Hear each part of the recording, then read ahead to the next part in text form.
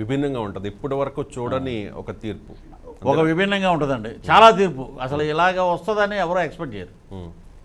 అంటే ఏమంటున్నారు మీరు అక్కడ మీ పొలాలు కూడా ఉన్నాయి అక్కడ. చాలా మందితో మాట్లాడినట్టున్నారు. సోషల్ మీడియాలో కొన్ని పిక్స్ చూశాను సరే. వాళ్ళు వాళ్ళు ఏమంటున్నారు? అంటే ఈసారి ఖచ్చితంగా పవన్ కళ్యాణ్ కొట్టేస్తాం అని ధీమాగా చెప్తున్నారా? ఎందుకంటే రెండు వేల తొమ్మిదిలో కూడా అంటే ప్రజారాజ్యం పార్టీలో చాలా మందికి తెలియదు అనుకుంటా. ప్రజారాజ్యం పార్టీలో మీరు చిరంజీవి గారు వెనకాల తిరిగారు. అవునండి. అప్పుడు కూడా ఇంచుమించుగా ఇలాగే టాక్ ఉంది. రెండు వేల పంతొమ్మిదిలో కూడా అలాగే అన్నారు మరి.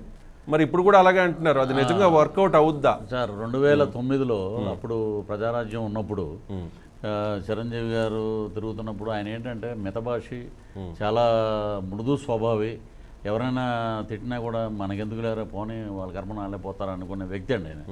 అందుకే నేను చాలా ఇంటర్వ్యూలు చెప్పాను. మెగాస్టార్ గారు ఆత్మాభిమానం గలవాడు మంచివాడు సహృదయుడు.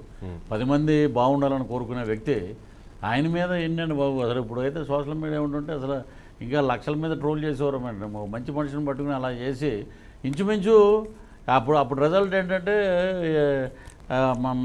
మా ఆఫీసులోనే ప్రజారాజ్యం ఆఫీసులోనే అక్కడ మేము ప్రచారంలో ఉంటే ఆయన ఆయన పేరు ఈటీవీ శంకరరామం దీంట్లో ప్రోగ్రాంలో ఉన్నాడు పరకాల ప్రభాకర్ గారు.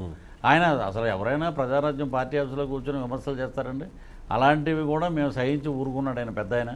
కానీ ఇంచుమించు యాభై నాలుగు స్థానాల్లో దగ్గర దగ్గర నలభై నుంచి యాభై స్థానాల్లో ప్రజారాజ్యం ముందంజలో ఉన్న ప్రజారాజ్యం ఏం పెద్ద ఏమీ పార్టీ పెట్టిన వెంటనే ఇమీడియట్గానే వచ్చామండి.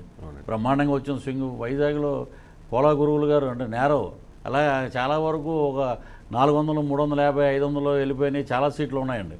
కాబట్టి ఏంటంటే ఏదో ఆయన ఏదో ఎటు వెళ్ళిపోయారు ఆయన ఎటు వెళ్ళిపోయారని ప్రజల్లో ఒక రాంగ్ ఇండికేషన్ వెళ్ళిందే కానీ తర్వాత అందరూ సెటరేట్ అయ్యారండి.